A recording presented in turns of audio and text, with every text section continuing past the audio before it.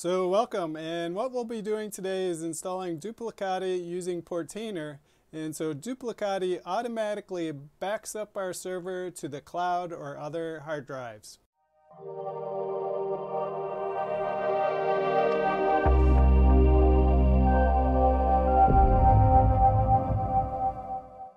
And a special thank you to all my patrons, who without your support this channel would not be possible. And if you haven't already, please think about becoming a patron and supporting the channel you love. So hi, I'm Jeff and this is TechnoDad Life and on this channel what we do is demystify technology and servers with video. Anything that I mention in the video today I'll leave links in the description below. So let's get into it. And so what we'll need is a couple things to get started to install Duplicati. So one, we need a working Portainer to install Duplicati on next is we need to go to Linux server Duplicati. And then finally, we need a Google Drive where we can actually store our images. So the setup that I'm going to be showing you today is basically back up your server to the cloud, but I will also mention in there that we will also be how to back it up to a disk. At the very end, we'll be showing how to restore your data from your, the cloud back to your server if disaster happens. So if we go back to Linux Server Duplicati, we scroll down, and basically we need to go to the Docker Compose section, and we're simply going to copy this, and then we're going to go to Portainer, click on Stacks, Add Stack, and then below Web Editor, we're going to paste in that information as plain text. Now let's go over what it says here. So this is the second version of this compose file. It's going to download the image Linux server duplicati. The container name is going to be duplicati. For the PUID and the PGID, so normally on Open Media Vault it's 1000 for the PUID and 100 on the PGID. For the time zone, put in your local time zone. Mine is America, New York for command line arguments, you can go to the Duplicati website and get that. Now for volumes, what we need to do is get the absolute path off of our server for the volumes. So for us, we're going to go to Open Media Vault, go to the shared folders, and then in the shared folders, uh, it will give us the relative path. And to get the absolute path, click on the down arrow next to relative, click on columns, click on, click on absolute path. And then this will show up. And then what we need to do is open up a word processing program and then type that in there because you can't copy it. And then once you've done that, then you can actually copy it. We'll go back to Duplicati. And so first we need to look at how our folders are set up. And there is our one share. We double click on that. And here you can see the folders inside of my one share. And so where we're going to store the configuration folders is in the app data folder. And the folder that we're going to copy is going to be the media folder. So if we go back to volumes, we're going to click, paste our path there. And then actually we need to add in a folder name too and then remove this little arrow right there. And so now that one's done. Next we can just copy that whole thing and we're going to paste it for backups and source. And then after each one we're going to put slash dummy.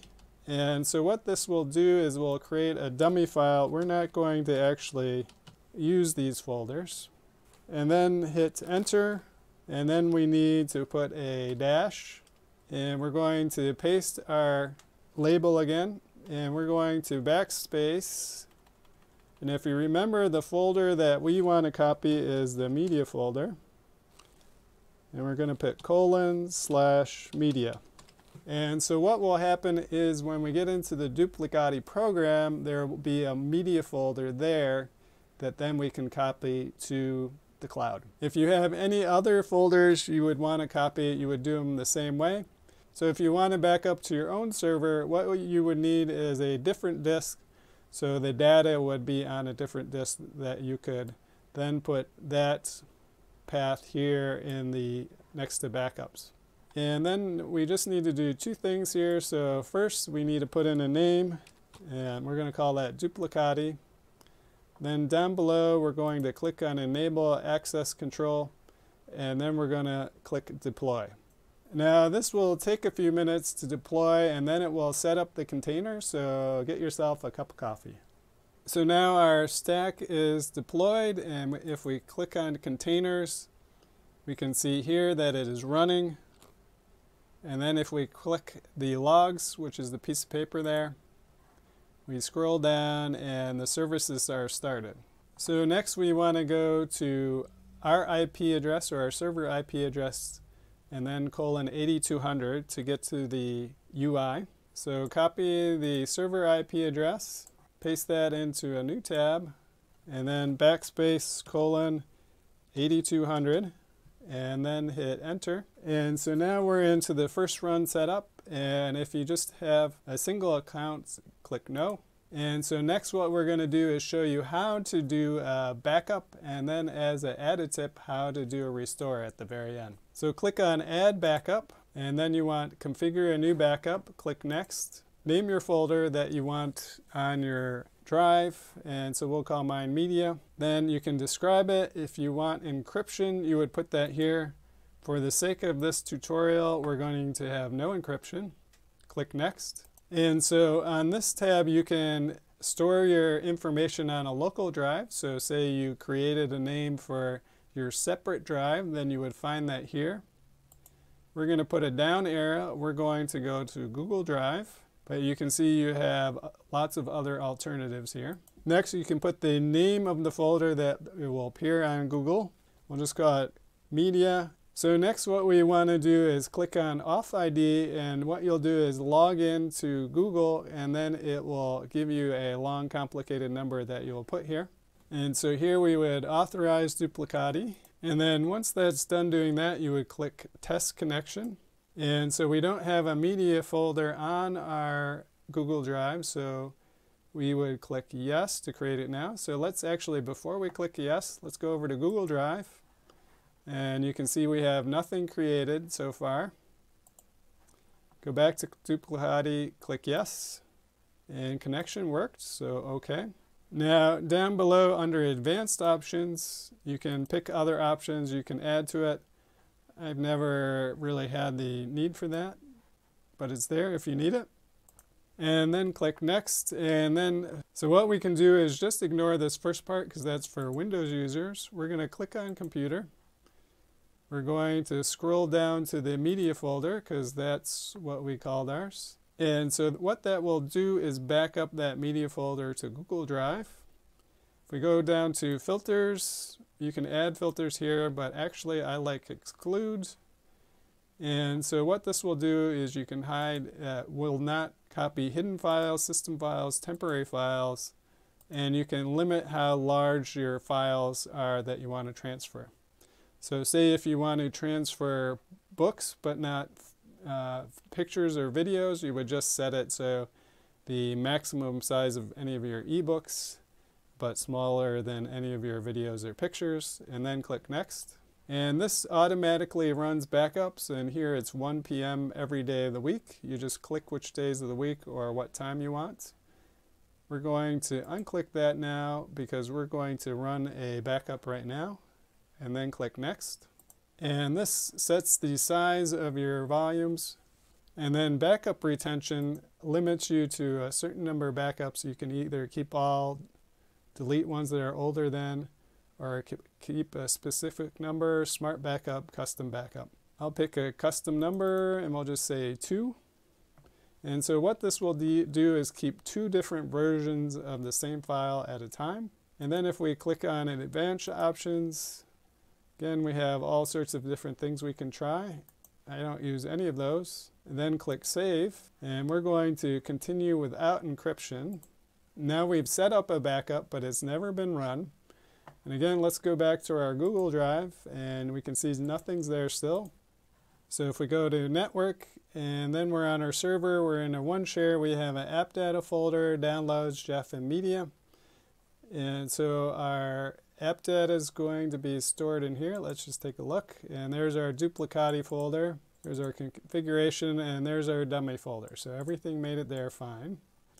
And so what we're going to copy is our media folder. And now we have two things in here, a PNG and a PDF. So if we go back to Duplicati and we click Run Now, you can see it says Starting Backup, and then it will verify and upload. And now you can see that it was done successfully. If we go to our Google Drive and we refresh the page, now we have a Duplicati here. And so these are our two items, but right now they're uh, zipped. So let's click on this one and let's unzip that. And so here you can see it created a separate folder that is the unzipped files. So let's go back to our server. Here's the bonus tip. How do we restore things? So let's copy those two things, or let's delete those two things. And yes, so now they are gone. We go back to Duplicati and then we click Restore. And so here it will give you some options. And so remember I called my Restore Media, so we're going to click on that. Click Next. So this is our restore file. So if you have multiple restores, it will be listed there. And then we want all of our information copied back. So let's click Continue. We want to restore to our original location. If there's any with existing files, we can overwrite that. And if we want to, we can restore permissions. We're going to click Restore. And so our files have been successfully restored and we got one warning and let's take a look at that. And the warning is that we did a restore, so we can dismiss that. And now let's go to our network folders and there you can see the Duplicati restored the files in unzipped format back to our server.